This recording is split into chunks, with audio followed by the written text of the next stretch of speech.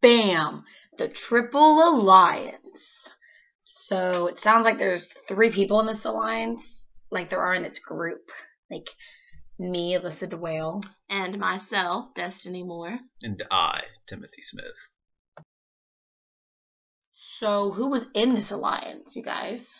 Well, once upon a time, there are three nations felt threatened by the older already existing nations, and they decided to form an alliance. These people were Germany, Austria, Hungary, and Italy, and they formed this alliance in May of 1882.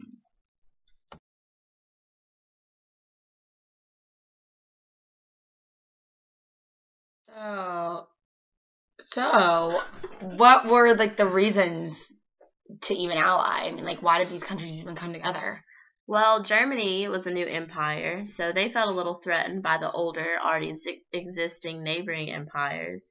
So, in order to avoid a war on two fronts, they formed this alliance with Austria Hungary, who joined because they wanted to expand their empire, and Russia and France saw the same opportunities for the same territory.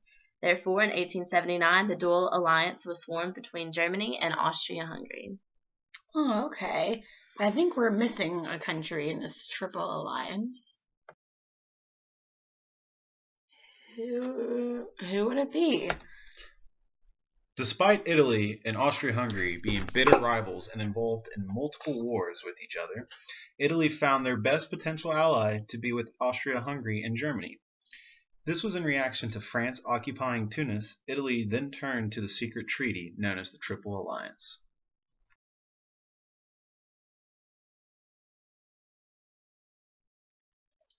Dun, dun, dun, The details of the treaty. What were they? Well, the treaty was designed to be a defensive treaty, meaning that they would only go to war if they were provoked first by opposing nations. The Triple Alliance felt that they needed a defensive treaty due to growing ambitions from those surrounding European nations. Oh, okay, that makes sense. So, what about like the conditions of the treaty? Like, what were the, the rules and stuff?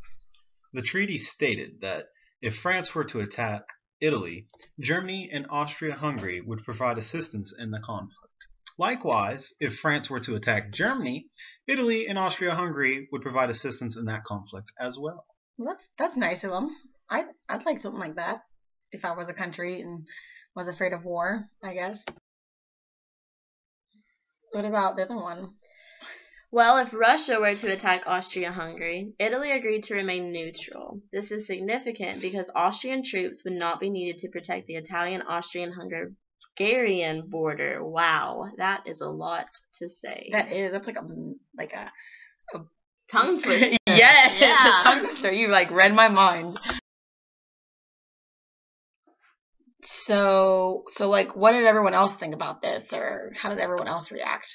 Well, in reaction to the formation of the Triple Alliance, France, Britain, and Russia took their own precautions and formed their own alliance called the Triple Entente. This alliance was a friendly understanding to counterbalance the Triple Alliance.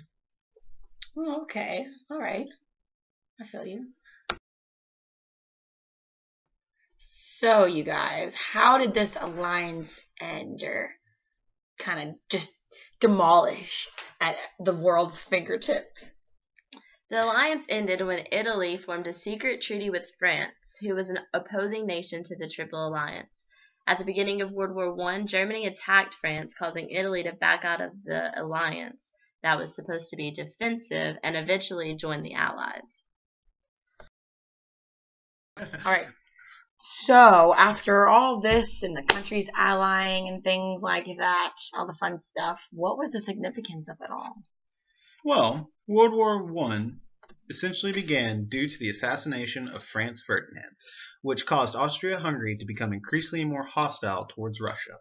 When Russia responded to this hostility, they decided to mobilize their forces, which then caused Germany to declare war on Russia. While acting upon this declaration of war, they attacked the Russian ally of France, which then initiated the downward spiral into World War I.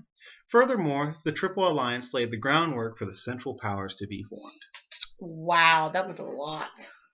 No, I really appreciate this like little history lesson y'all gave me today. You are welcome. I am. I'm very. Thank you.